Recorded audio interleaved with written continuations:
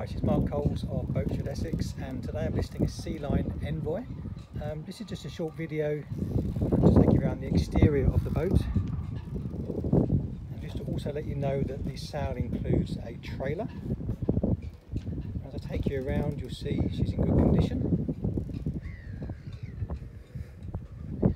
There is a full cockpit cover that is included within the sale you'll see the owner has taken off the rear section given the fact he's been using it.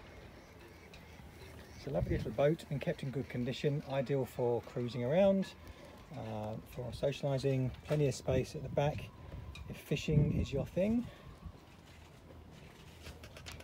It's a nice little swim platform and a Tohatsu 6 horsepower engine.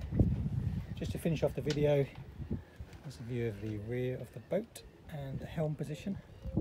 So for more details visit boatshed.com and search for Sealine Envoy.